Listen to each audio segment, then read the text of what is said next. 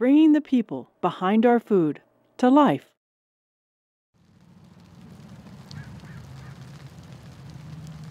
I think the chefs like the fact that they really do truly look like a tiny little radish, especially with keeping that root hair on. It really does make the plate look amazing.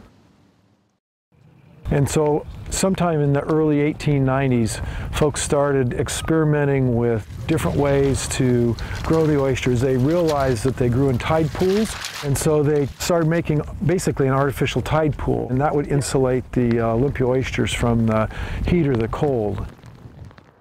Where we're going in terms of the farm, I would like to just continue to use the space as responsibly as possible and try to work out different ways that we can whittle away our dependency on resources being brought into the city and see how well we can work within the city to provide for ourselves.